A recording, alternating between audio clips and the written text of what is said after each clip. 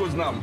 Гледай колко интересно се развиват при нас нещата в панела. Вчера имахме двама Жоровци, днес имаме двама Юлиановци. Утре тук виж две гали. Добре, Не, гала е само една. Втора няма. добре, че моето име е много рядко срещано.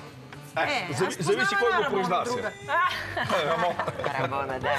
Сега ние много се запалихме преди това за, а, на темата за Оскарите, правилата и разни други работи, които излизат. Сега искам да продължиме малко така в общо взето в тази тема.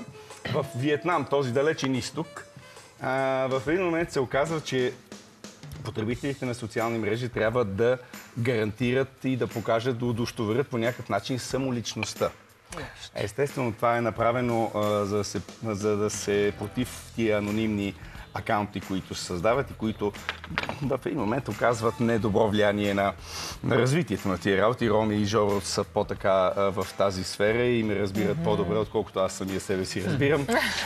но, но няма значение. Да. Това е от една страна, някой казва, че е добър ход, от друга страна обаче казват, че по този начин правителството ограничава по някакъв начин а, правителството може да ограничи правото на изразяване, правото на сдружаване, което е в законите естествено заложено. А, и се дава пример, че Виетнам е на 178 място по свободата на, на изразяване, на печата. А, малко преди Северна Корея и Китай, които може да си представим а, на кое място са.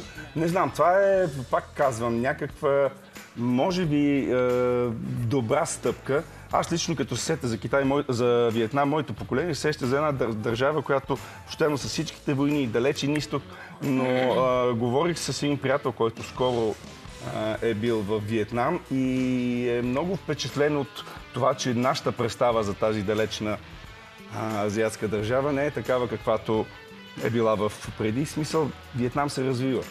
Добре се развива. А, разбира се, че да. курорти. Да, да, да. Курорти, да. Всички сме на свободата на словото и това е изключително голям проблем, но в интерес на истината фалшивите акаунти наистина създават огромни проблеми.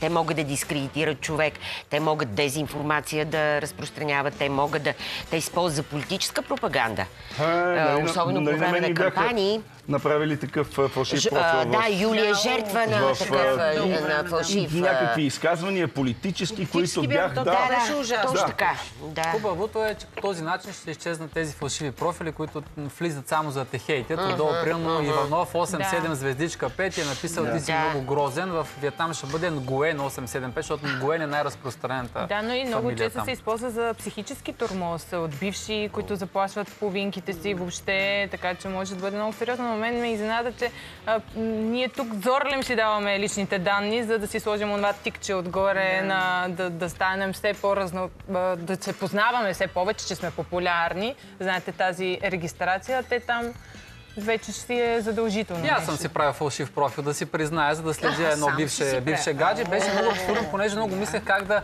се слее с тълпата и да не ме разпознаят, защото когато а, тя си гледа сторитата и види това име, да не заподозре, че съм аз. И не знам откъде реших да използвам, извинявам се на човека, на певеца, на Иван Тишев и актьор. А, и си да, написах, Иван. примерно, Иван Тишев 88 и си свалих от Google снимка на Иван Тишев и така си я следих. Е, добре, как Да. можеш И толкова видя? некоректен ти? А, засягаш личността на Иван Тишев. да си признавам. Как? Не, Иван е пич, нищо не Да. засяга, че следи от А, някого. Ама не ме хванаха и си я следих. Много хубаво ми Е, беше. това е. Е, това е. Какво проследи всъщност? Ами проследих, че тя е с друг и е по-щастлива и закрих профила на Иван Тишев.